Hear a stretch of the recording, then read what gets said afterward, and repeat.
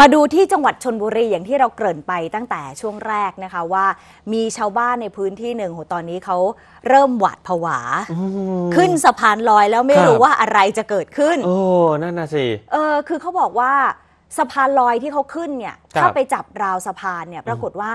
เหมือนกับมันมีไฟช็อตออกมาเนี่ยเหมือนป้าไฟยติดรั่วเลอยอกมาใช่ไหมอย่าจับราวไฟดูด อันนี้คือชาวบ้านทำกันเองนะ อ้าวไม่ได้หน่วยงานมาเตือนหรอกเหรอ อันนี้คือชาวบ้านเขาบอกว่าคือโดนไปหลายคนแล้วอะก็เลยต้องรวมกันโอ้โหแล้วก็มาทำป้ายแบบเนี้ยแล้วคุณผู้ชมดูสภาพนี่นี่สะคือพานสายลอมัยนเยอะมากไงโอ้โหก็เลยไม่รู้ว่าตกลงแล้วเพราะอะไรเพราะเนี่ยค่ะเห็นครัพี่บๆเจ้าหน้าที่การไฟฟ้าใช่ไหมอ่ามาตรวจสอบแล้วปรากฏครับว่าค่าไฟที่มันรั่วเนี่ยมันไม่มีอะมันเป็นศูนย์อะ โอ้แต่ชาวบ้านเขาก็โดนกันเยอะจนต้องติดป้ายเลยนะ เจ้าหน้าที่ก็เลยบอกว่าอะเดี๋ยวจะต้องไปตรวจสอบอย่างละเอียดว่ามันมีไฟรั่วหรือเปล่าอืมรั่วยังไงรั่วตรงไหน เดี๋ยวครับเขาตรวจสอบให้อย่างละเอียดนะคะ ไปดูนะคะทีมข่าวเราก็เลยลงพื้นที่ไปตรวจสอบนะคะ ที่จุดนี้ค่ะสะพานลอยข้ามถนนสุขประยูน หน้าทางเข้าโรงเรียนพานทองตำบลหนองตำลึงอำเภอพานทองจังหวัดชนบุรีนี่ค่ะ สะพานลอยอันนี้เลยนะคะ จริง ๆ แล้วสะพานลอยเนี้ยอ่าทีมข่าวบอกว่า จะมีทั้งคนที่ต้องทำงานชาวบ้านในละแวกนั้นเด็ก ๆ นักเรียนครับเขาต้องใช้กันอยู่เป็นประจำแต่หลังจากที่หลายคนบอกว่า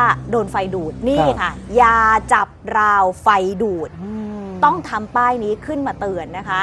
ทีมข่าวบอกว่าแล้วตอนที่ลงพื้นที่ไปสังเกตเนี่ยอย่างที่เราเห็นพร้อม ๆ กันเนี่ยค่ะเมื่อกี้ครับจะเห็นทั้งสายไฟสายเคเบิลมันพันติดอยู่กับราวเหล็กของสะพานจำนวนมากโอ้โห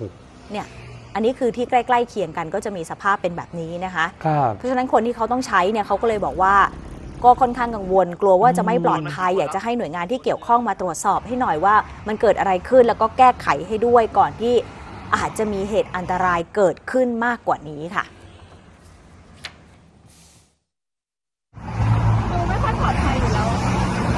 แล้วหนูได้จับราวไหมวันเนี้ยไม่ได้จับคือเห็นเห็นป้ายไหมตอนขึ้นมา เห็นแล้วเ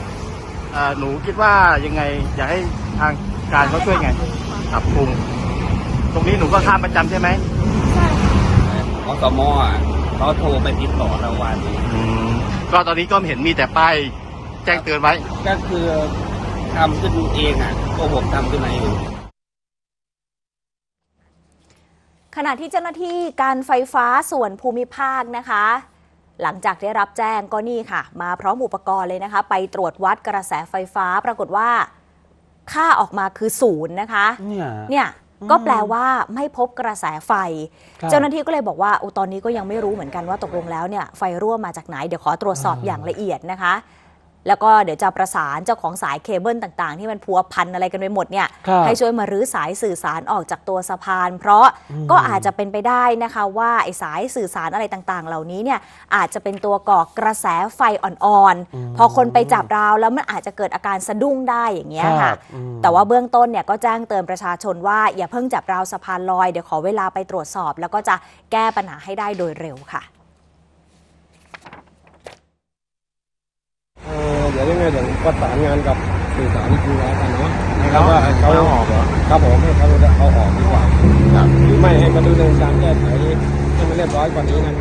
ก็ในเบื้องต้นก็มาตรวจสอบแล้ว ครับผมก็อยากให้พบครับผม คือไอสายเคเบิลอะไรต่างๆเนี่ยไปผูกโยงกับเสาไฟฟ้า แต่คุณมีสิทธิ์ในการมาผูกโยงกับราวสะพานลอยด้วยเหรอเออเออ แล้วปล่อยให้มันเป็นแบบนี้มานานอย่างนี้แค่นานนานแค่ไหนแล้ว แล้วอีกอย่างหนึ่งคือเราจะเห็นว่าตอนที่ขึ้นลงเนี่ยฮะระดับของไอสายไฟที่มันระโยงระยางเนี่ยมันก็อยู่ระดับเดียวกับตัวคนขึ้นเลยนะค่ะถ้าสมมติมือไปโดนหรือว่าดันมีการแบบอะไรแล้วทำให้ล้มอย่างเงี้ยแล้วตัวไปพาดสายไฟนี่จะช็อตไหม คือจจะเป็นริงอะไรๆคือไหมแค่เห็นสายไฟเยอะๆเนี่ยนั่นน่ะบางทีสิเราก็เริ่มจะนั่นน่ะกลัวสิฮะแล้วใช่ไหมแล้วเราก็รณรงค์ให้ข้ามสะพานลอยอย่าค่ะไปข้ามถนน ปรากฏว่าบางทีบนสะพานลอยเป็นอย่างเงี้ยมันจะยิ่งอันตรายต่อชีวิตเรามากกว่าหรือไม่นะเด็กๆ เล็ก ๆ ที่เขาไม่รู้เนี่ยแล้วถ้าเกิดเป็นอะไรขึ้นมาเขาไปจับสายไฟขึ้นมาล่ะ มันจะเกิดอะไรขึ้น รวมถึงเนี่ยแล้วปกติเราต้องบอกว่าต้องจับราวเนาะอืมเผื่อจะเกิดอุบัติเหตุอุบัติเหตุใช่ไหมนี่กลายเป็นต้องรณรงค์ว่าอยากไปจับราว แล้วสะพานลอยมันก็ค่อนข้างชันนะ เนี่ยนะมันก็เป็นปัญหาต่อเนื่องอะใช่ก็เดี๋ยวขอเวลาเจ้าหน้าที่บอกขอเวลาครับไปตรวจสอบแล้วเดี๋ยวจะเร่งแก้ไขเอออ่าวันนี้เรานำเสนอข่าวมาก็เดี๋ยวครับให้เวลาเจ้าหน้าที่อืมแล้วเดี๋ยวทีมข่าวติดตามให้ใกล้ชิดใช่นะคะนะครับ